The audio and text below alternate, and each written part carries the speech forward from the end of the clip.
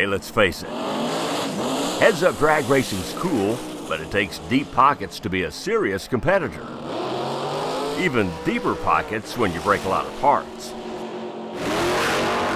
That's why for weekend competitors, bracket racing is still the most popular class at the drag strip.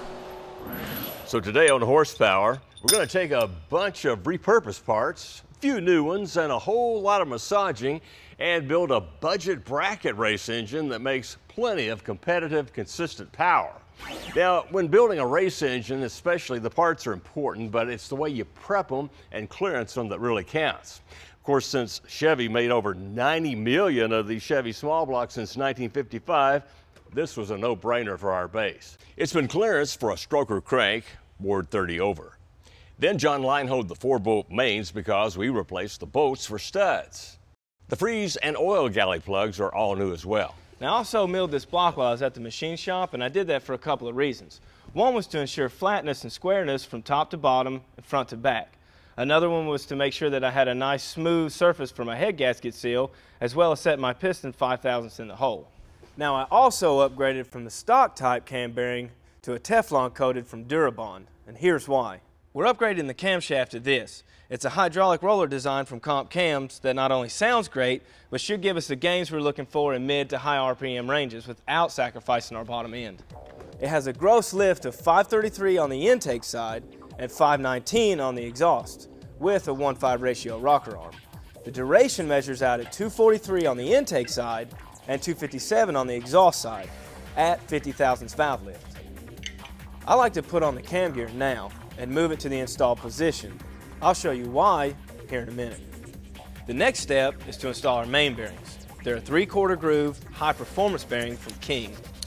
Now even though I line honed the block, there can be a small variance in size between bearing thickness as well as crank journals from when it was ground. So sometimes there's a slight difference in clearance between journals. It's not a big deal, all you have to do is know how to correct it. Without the crankshaft, all the caps and bearings need to be in place and torqued to spec. Then one by one, get a reading of your inside bearing diameter and write them down. Now, mic your crankshaft and get the outside diameter of each journal and write those down as well. Okay, let's take a look at our main bearing clearances. We're shooting for between 2 and 3 thousandths. Number 2 and 3 are set at 2-4, spot on. Now number 1's a little on the small side at 2 thousandths even. Number four is a little on the big side at 2-7. Now here's how we're going to correct that. We're going to take bearing from number 1, swap it with bearing number 4. Now put those caps back in place and torque them again and get your new reading. Now by just simply finding the difference between the two sizes, we've gone from 2 thousandths to 2.3 on bearing number 1 and 2.7 down to 2.4 on bearing number 4. We're not to get any better than that. We're to prep the bearings next and we're using Torco assembly lube that we got from Edelbrock throughout this build. Which brings us to our crankshaft. Now it's a repurposed piece we've reused to try to save money, which is fine by me. It's a stroker crank from Eagle. It even stayed standards on the mains and rods. Now by not buying a new one or regrinding this one, we were able to afford the balance. And to keep it all together, we used ARP studs with some of their Ultra Torque assembly lube. Now here's something you can do at the house for free and make a big improvement in oil flow. Now this is where the oil pump feeds the engine and this wall can be a bit restricted, so we're gonna fix that. Now you'll never notice the effects from this, but in the world of racing, every small improvement can equal big results. Since this rear main is also the thrust bearing, I won't torque it down yet, but I will torque one through four. Then apply forward pressure to the crankshaft, now torque the rear main. This will lock the crankshaft in place, but you should always check your end play, which needs to be between 5 and 10 thousandths. I'm happy with lucky number 7. Now minus machine work, the only new money we've got in this block right now is in camshaft, bearings, and studs. Let's hope our luck holds out for the rest of this project. We're back on our budget bracket motor, and so far, all I've got in is my crank and camshaft. You can't rush perfection. Now we're ready for our timing set. Now this one you might not be that familiar with, it's even a first for me. Now this one's Comp Cam's wet belt drive system. It's designed to go behind the timing chain cover for racers who don't want it outside their block. Now the cam gear is built aluminum, the crank is steel, and the belt, they say, is stronger and more reliable than a chain. With a little Loctite anti-seize, it's a press fit, not hammer fit into place. Remember when I clocked the cam right after the install? Here's why. When you set the crank pulley correctly, the rest is pre-aligned. This will save a lot of hassle when installing the timing chain. Now we can't degree our camshaft until we get our number one piston and rod assembly together and in the motor. Now we're reusing these from our engine. They're a forged I-beam rod from Eagle rated at 500 horsepower just like our crankshaft. Now we're going to top them off with a set of Sportsman Series forged pistons from Probe. Now they're a flat top two valve relief piston that should put us right in the compression ratio of 11 to 1 that we're looking for. They have floating pins with high performance spiral locks, which simply means they won't fall out or go in easy. The rings from Total Seal are a plasma moly 1 16th, 1 16th, 3 16th package that need to be file fit. The oilers are fine, but the scrapers need help. We've been dying to use this ring filer from Goodson. With gauge adjustable guide, it takes the guesswork out of how much you're removing. I still take a little bit off at a time because you can't undo what you already did.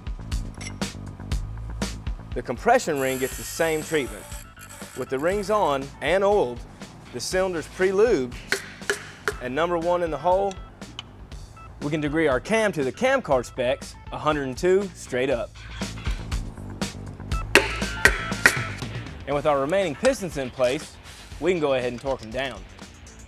Only half of our timing cover goes on next.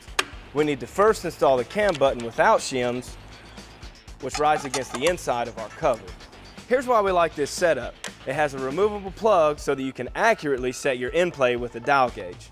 By putting slight pressure on a lobe through the lifter bore, I can see where we're at. 50 thousandths is a long way from recommended 10 thousandths. Now here's how easy it is to correct it. I use calipers to get a stack of supplied shims right at 45 thousandths.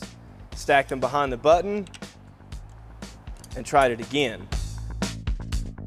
And that's where we need to be. To make sure it stays that way, I use Loctite on all the bolts and torque them down. The last part is the belt retainer. Do not forget it. I'm verifying top dead center to install our balancer. Now it's a TCI Rattler with an external balance and a floating weight inside. It's noisy, but will give us that extra assurance on bearing life and absorb harmonics at higher RPM levels. After a thorough cleaning, we're going to reuse our Melling's high volume oil pump. The rear main gets a new seal, the block gets some silicone, and a one-piece reusable oil pan gasket from Fel-Pro. Since the oil pan and pickup are a pair, with a little black paint, they're reunited. At this point, our short block is done, but we're not done yet.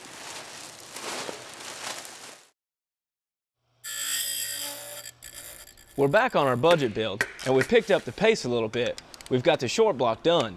Now we're going to be reusing a set of Edelbrock Performer RPM cylinder heads that was on our motor last time. Now they didn't have a lot of runtime on them, so all I had to do was some cleanup work. The first thing I did was CC and mill the deck surface so I could set them where I wanted them. Then I cleaned up the throat area with a cartridge roll, and as you can tell by the red Dykem left over, I've already lapped in all our valves. Now since we didn't need a valve job, we put our money into springs. We upgraded these beehive springs from Comp. Now they take a little less spring pressure, but they stay just as stable. Our spring height is correct. The problem is the spring's going to walk around while we run the motor. Now we're going to fix that by running a locator. Now when we do that, we're going to lose 50 thousandths on our install height. Now we've got a couple of options. You can machine the spring pad, do a valve job to sink the valve, or you can buy a whole new set of springs. But we're going to do this. Now this one's the standard lock that I use to check our install height. See how high the lock is? Now these from Comp will actually lower the lock, but raise our install height 50 thousandths. I like to put a little oil in the guides, as well as some grease on the valves themselves. That way you guarantee they're lubed during fire up. Now these valves also got bead blasted and faced, but just as important, I numbered them to ensure they went back in the same hole they were lapped in at. With our locators located, we can install our seals, springs and retainers, followed by our new corrected locks. With a little more silicone, on goes our multi-layered steel head gaskets from Cometic. Now on this block, we don't have blind bowl holes, so a round of sealing is in order. These gaskets need a couple of torque steps to compress all the layers. 40, 55, and finally 65 foot-pounds. These are our new lifters from Comp. Now because this is a racing engine, I went with a retrofit lifter that's held together with a vertical tie bar. Now racers have been using these for years, and sometimes it's just as well to go with what you know is going to work good. Since we're upgrading the rockers, I'm doing the same with these 7 16 studs from ARP. Here's something I learned from an old timer a couple years ago. Did you see that? The guide plate moves when you torque it. Something as small as this can put you back in the trailer fast. Now here's how you fix it. All it takes is a screwdriver and some slight pressure to hold the guide plate still while you're torquing. I pre-measured for push rods at the machine shop, and since it's a racing application, I ordered Comp's high-tech version. These stout 5 16 push rods will do the job. We also upgraded to these new Ultra Pro Magnum rocker arms. They have a hardened roller tip, oversized roller trunnions, and precision sorted needle bearings. Now these are also great for racing because you can rebuild them. Plus, Comp backs them with a lifetime warranty. I like to lash them one at a time after it goes on. That way there's no chance of accidentally forgetting to lash one. Now's a good time to fill that pan with some brake oil from Edelbrock. It's also good for engines before you switch to a synthetic oil. I've been told I go a little overboard with my silicone. I even put a little bit on both sides of my Mr. Gasket. Then, I make my Caterpillar. And we're finally ready for the intake.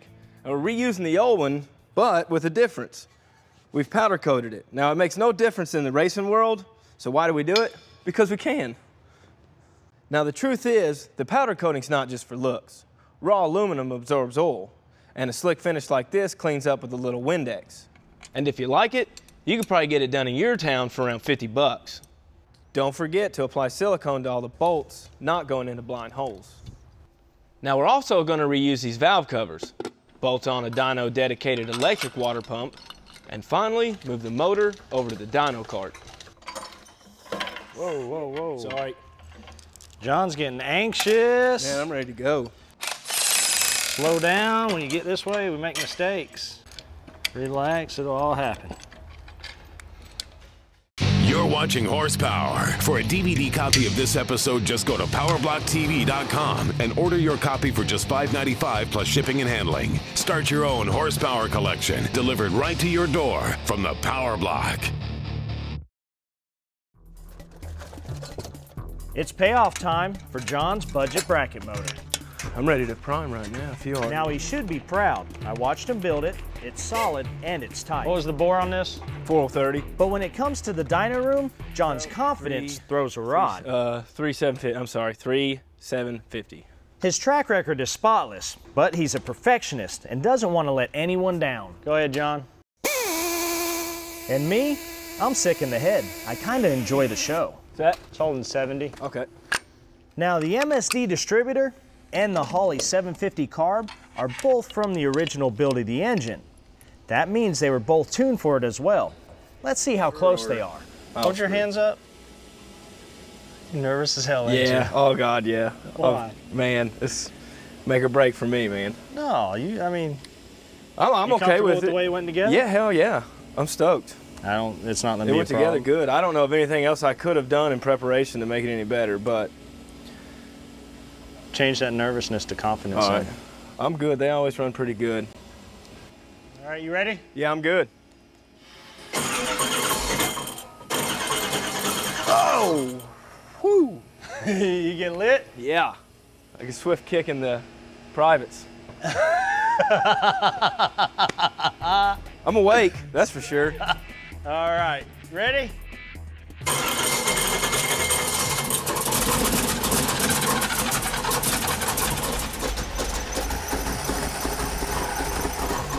Too much fuel.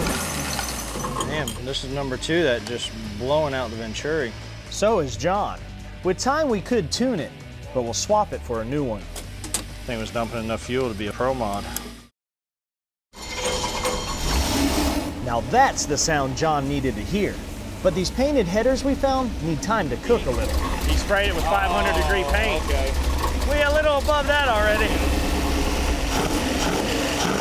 Despite the carb swap and the smoke, we're almost there. Almost. You can actually hear the hesitation, and here's why.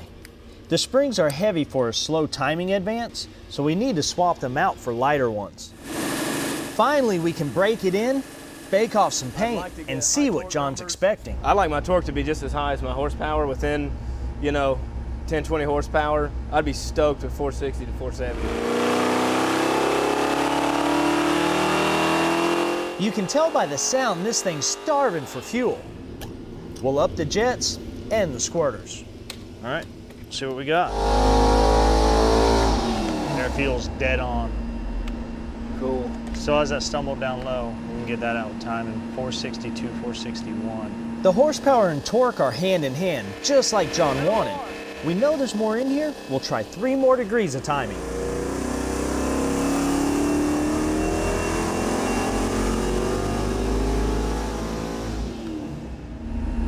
Four sixty-eight, four fifty-eight. It wants more air.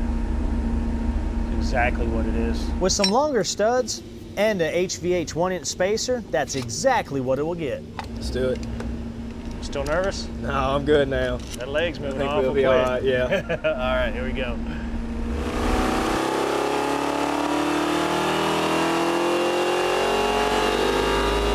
Man, that thing's crisp. It sounds good. it likes to climb too. That's your 470. 471. 471, We'll take it. 457. That torque number has been within two foot pounds on every single Yeah, pole. since we started. Every single pole. You want to see if it'll pull 10,000? No. no. There it is. I mean, that's solid. Sweet. Can't do anything different there. Good job on the first one. Thanks, man. Cool. Well, John's happy. Whoa, whoa, We all got entertained. Oh! Whoo! And now we have an excuse to build a bracket car. You get lit? nice.